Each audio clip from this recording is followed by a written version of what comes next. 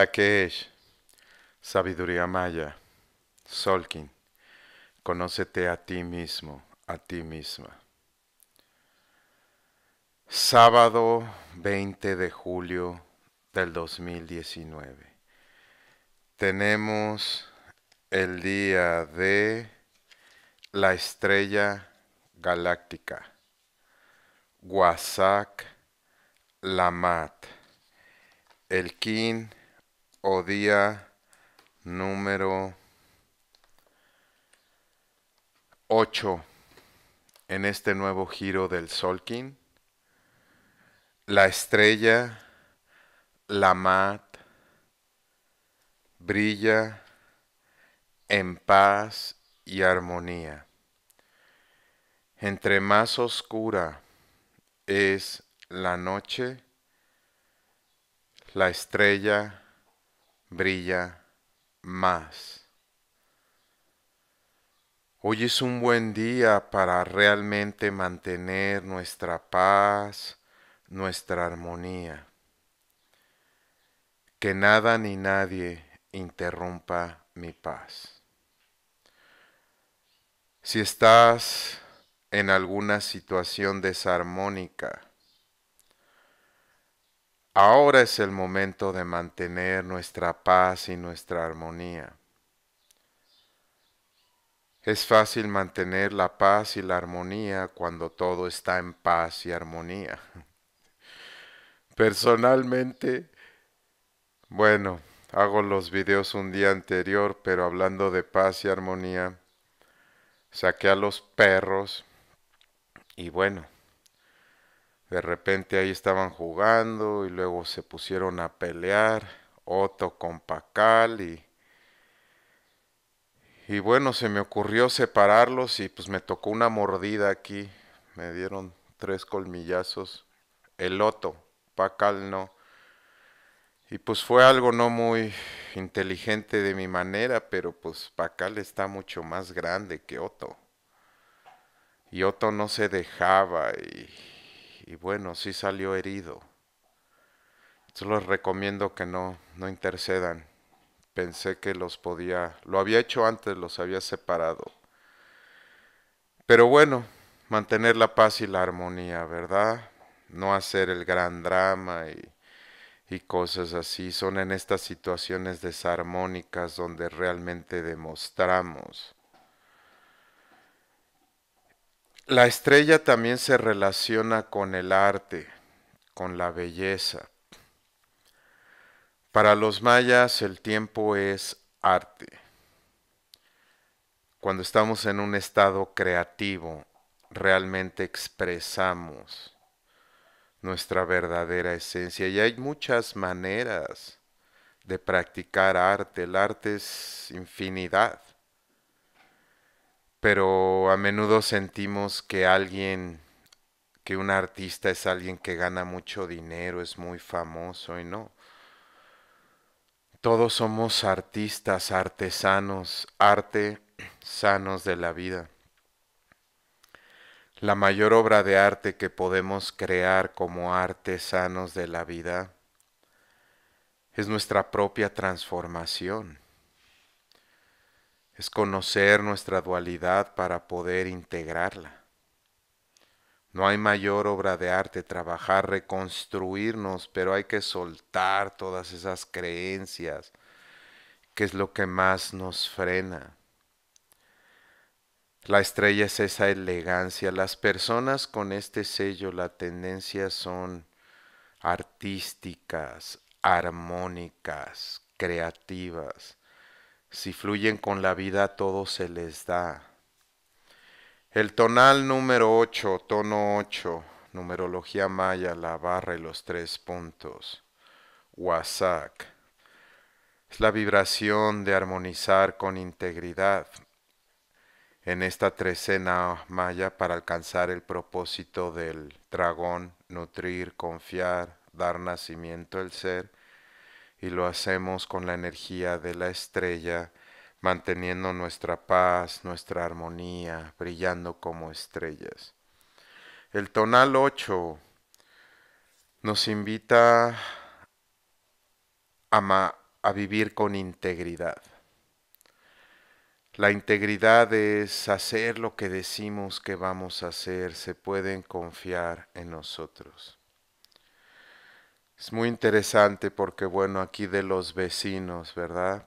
Te das cuenta por los detalles más simples cuando puedes confiar en alguien. Hay una chica nueva que, bueno, ya se va, tiene como tres meses.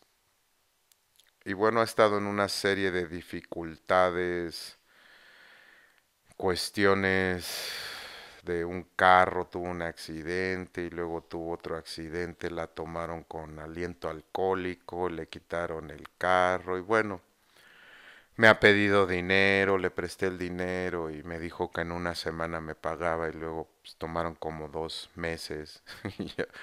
Cuando presto dinero yo usualmente lo veo como un regalo, no porque si no luego luego entra y cuándo te va a pagar, entonces lo veo como un regalo y ya si me pagan, pues ya es, pero no les digo, pero les digo que sí, usualmente la mayoría de la gente no paga a tiempo, ahí te das cuenta mucho de la integridad. Y bueno, ahora trae un carro, anda manejando un Uber. Y bueno, también para ayudarla y ayudarme como está aquí, como vivo en la montaña, y ahorita con los perros y todo esto, no me gusta dejarlos mucho tiempo solos hasta que esté todo como que ya más tranquilo. Entonces le dije ayer que pues le pagaba si me podía llevar a un cajero y traerme. Ya lo había hecho anteriormente. Y me dijo que sí. Y pues bueno, ya cuando conoce a las personas, sabía que no es de mucho confiar y pues dicho y hecho no regresó, quién sabe dónde se quedó en la noche y pues ya no pude ir al cajero. No es ningún problema porque puedo hablar un taxi y todo. Es conveniente y aparte pues son, no es mucho dinero, son 100 pesos, 5 dólares, pero bueno, puedo usar esos 5 dólares yo de muchas maneras. Usualmente tomo camión o camino varios kilómetros, pero ahorita para hacerlo rápido, entonces no se puede confiar. Y es en los pequeños detalles, no es lo que la gente dice, es lo que la gente hace. O simplemente haberme llamado así como cuando necesita algo que me manda mensajes. Oye, no voy a poder ir mañana, discúlpame, algo así. No, nada. Y bueno, así es. Pero si no se puede confiar en nosotros, entonces ¿qué? Que nuestra palabra valga.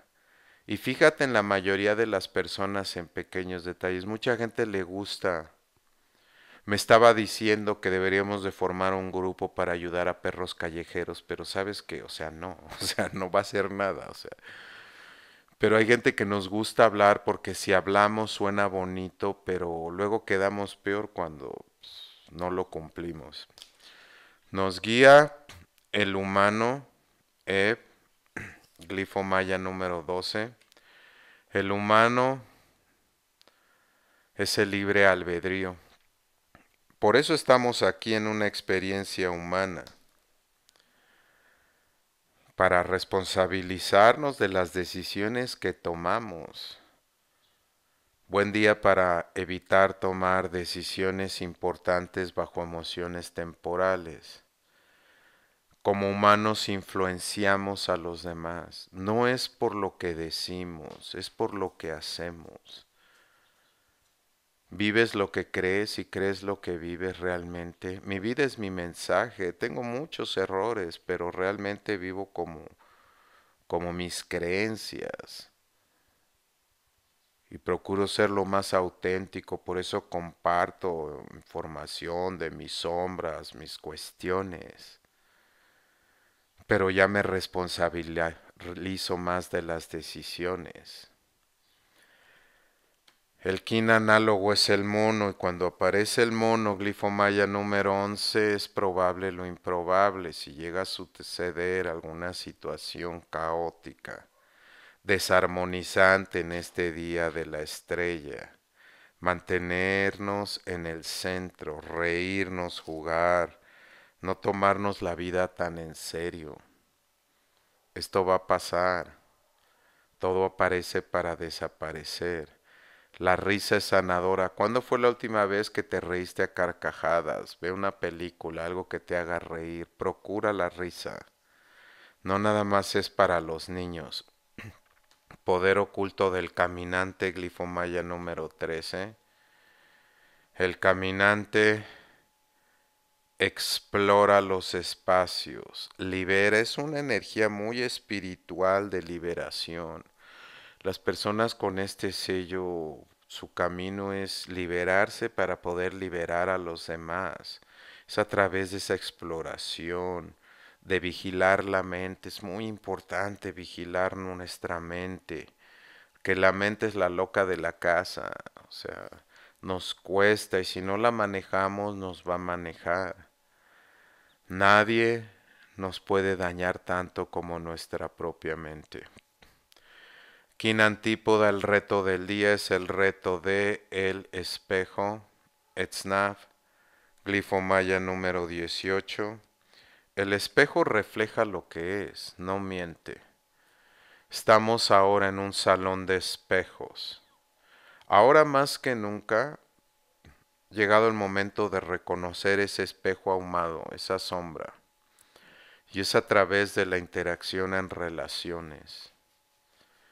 Si no reconocemos las sombras, se nos van a reflejar en el momento menos adecuado.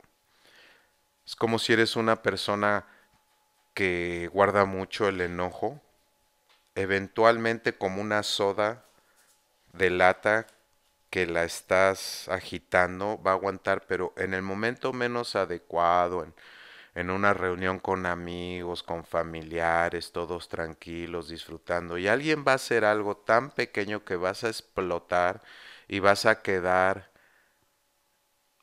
enfrente de todas las personas, vas a mostrar realmente quién eres. Si a las personas las conocemos más por las señales, porque a menudo, especialmente al principio, tratamos de comportarnos de la manera que sentimos es la adecuada. Pero date cuenta si se enoja con las personas por cosas insignificantes, trata mal los animalitos y todo, te va a decir mucho de la persona. Es prestar atención a nuestro espejo ahumado. Castillo rojo este del girar, nacimiento, iniciar algún proyecto, algo que tenemos en, mente. Y bueno, ya estamos en el año de la luna cósmica, cinco días más, finaliza, todavía estamos en el final de esa purificación emocional. Ponte a ver desde hace un año, desde julio del año pasado y todas esas emociones, todo lo que has vivido, todo eso ha, pasado para ayudarte a purificarte emocionalmente para poder recibir las nuevas energías. Estamos limpiando este contenedor. Y bueno, la onda encantada del dragón. Imish Clifomaya número uno. Trece días desde el 13 de julio hasta el 25. Finalizamos. Y bueno, el dragón nos nutre, nada nos va a faltar en nuestro camino. Agradecer, dime qué tanto deseas, te diré qué tan vacío estás, dime qué tanto agradeces, te diré qué tan plena, qué tan pleno eres. Dar nacimiento. Ahorita muchas personas, ahorita con el nuevo año maya, el tiempo es arte, el día fuera del tiempo, se están reuniendo, ¿verdad? y estamos dando nacimiento cada uno en nuestros espacios, juntos, separados, pero unidos en, en vibración. Estamos dando nacimiento a una nueva tierra.